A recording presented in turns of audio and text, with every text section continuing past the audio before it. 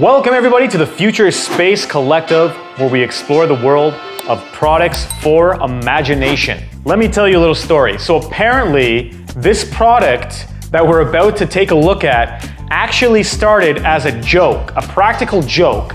Picture a bunch of people sitting around at a table brainstorming new products to create, and they come up with a product so silly that they're like, that just might work. Today, we're about to take a look at that product Let's check it out. Ladies and gentlemen, coming straight from Japan, I present to you, boom! Do you know what it is? They took earphones and they're like, what if we made earphones huge? Let's just make huge earphones and make it into speakers. And I guess they all had a chuckle and they're like, well, why not? Let's do it. They did it, and here it is for you today. Look at this box. Japanese product. This box is so big, I gotta stand up to unbox it, because that's how big these headphones are. ah, just the thought of what's inside of this box, it makes me chuckle. Here we go. Boom. A boom. uh, instruction guide there. Look at the size of these earbuds. Look at this. Let's take him out of the bag. Ugh. Okay. Whew. No problem. Maybe it's just something about the Japanese, man, because the last Japanese product we did was the Sega Homestar Flux. It also had a really crazy unboxing experience. Look at this thing, man. Oh my goodness. Oh my goodness. All right. Oh my goodness. Look at the, you know how headphones, they have like, you know, the volume rockers, the, the volume. That was the knife, still open. It's literally a giant volume rocker to match the giant earphones. Let's, we gotta get it out of the plastic here to, I, this just cables and what is happening here? Let's get rid of that. Oh, a lot of plastic. Fun, fun, fun, fun, fun. All right, well, let's commence time lapse now. All right, we got we got one out. We got one of these things out. I'm loving the black and gold finish on it. It doesn't quite fit my ear. Let's let's let's fully unpackage this thing. Oh my goodness. What do I do with all this plastic?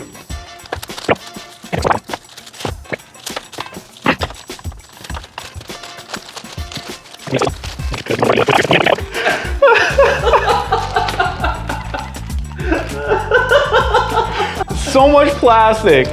Oh my goodness, that was so unnecessary. But alas, we have unveiled our ginormous headphones. All right, let's let's get let's get organized here. We also have what also comes with the speakers is these bases here. Now they're they're apparently cork bases. So the idea is these are like little sort of stands for the speakers. You can actually remove the headphone uh, like earpiece even though it's not a real earpiece, obviously. You can see it's not quite in the center. There's a bigger chunk of the base. We're gonna actually sit our, our headphone in it like that. Boom. And we're gonna put our little foamy pieces back on. This product really cracks me up. I don't know if that's evident in the video so far, but I'm having a hoot of a time filming this right now.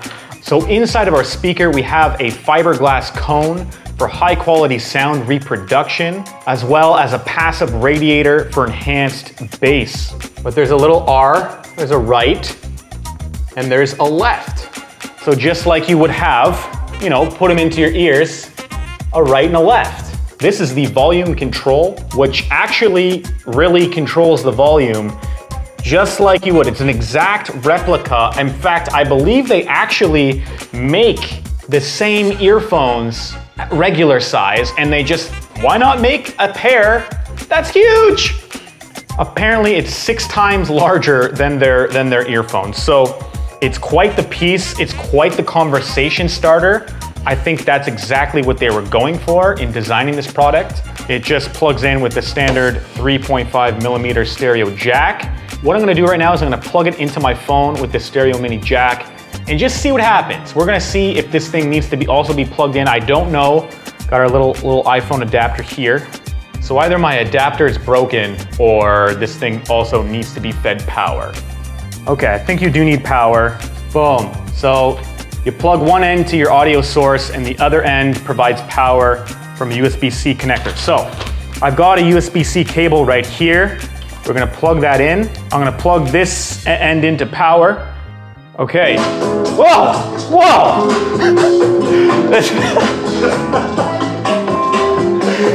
okay, I it startled the crap out of me. That was totally unexpected. Whoa! Whoa! So okay, you do need to plug this into power. We got we got a few things plugged in. So we have our we have our unit connected. So this is the power switch right here. Boom, and it turns on.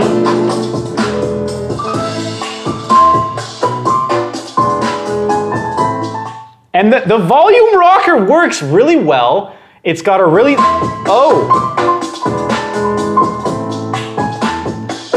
Know what, they're not even fit, they sound great. I'm, I'm actually thoroughly surprised. I'm gonna face them towards me this time.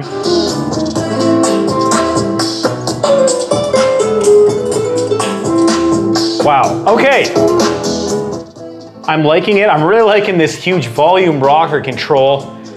I love it. I think it's great. It's fun, it's playful, it sounds really good.